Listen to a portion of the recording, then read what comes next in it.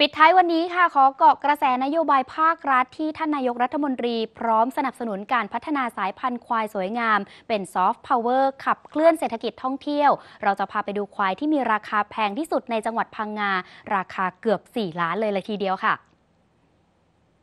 นี่แหละค่ะ คุณผู้ชมควายที่มีราคาแพงที่สุดในจังหวัดพังงา ซึ่งนายวัชรานนท์เพชรเมืองใหม่ผู้ใหญ่บ้านหมู่ 4 ตำบลนบปริงอำเภอเมือง จังหวัดพังงา ได้นำมาโชว์ในงานประกวดโคเนื้อของจังหวัดพังงา รูปร่างลักษณะดี เป็นควายที่ซื้อมาจากจังหวัดมหาสารคามในราคา3ล้าน9แสนบาท เห็นตัวเห็นตัวใหญ่ขนาดนี้นะคะ มีอายุแค่ 3 ปีเศษเท่านั้น มีชื่อว่าเจ้าเพชรอันดามัน แต่เดิมควายตัวนี้ค่ะ ชื่อเพชรไพศาลี เป็นลูกที่เกิดจากเจ้ารุ่งเพชรของลุงติ๊กควายไทย แม่เหลืองของเสียเอกบ้านสวน เดิมเป็นควายของพันตำรวจโทโกวิทผิวผ่อง และได้ทำการย้ายค่ายมาอยู่คอกควายงามพังงานำทีมโดยนายวัชรานนท์รุ่งอรุณฟาร์ม นายหัวสวดอัยราฟาร์ม เสี่ยกิจโชคพูนทรัพย์ฟาร์ม ทอธราทิพย์ฟาร์ม แล้วก็ได้เปลี่ยนชื่อเป็นเจ้าเพชรอันดามัน และนำมาเปิดตัวในงานนั่นเองค่ะ